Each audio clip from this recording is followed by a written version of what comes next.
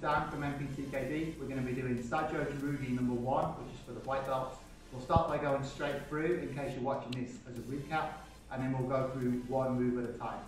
Okay, let's get going.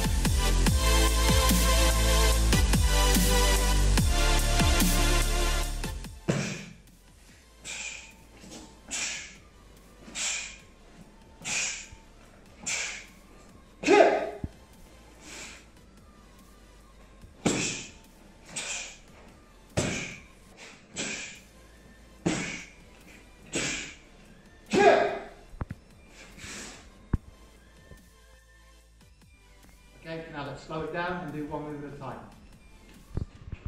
Charyot, kick out, and be ready. Okay, so to start with, put your left arm out, just ready in front. Step forward to your right foot, walking stance, right punch. Take the hands off your belt, bring it up to your ear. Turn to your left, take the cross position, low block. Lift this arm up, level with your shoulder, step forward, punch. Look to your left, take this hand off your belt, bring it to your ear, make the cross position. Turn to your left, low block. Lift this arm up, shoulder height, step forward, punch. Look to your left, take this hand off your belt, bring it up to your ear, make the cross position, turn left, low block.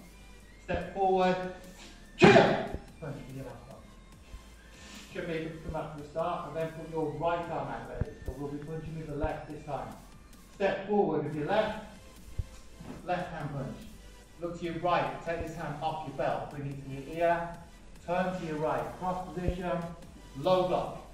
Step forward, walking stance, punch. Look to your right, take this hand off your belt, bring it to your ear, make a cross position, turn to your right, low block. Step forward, walking stance, punch.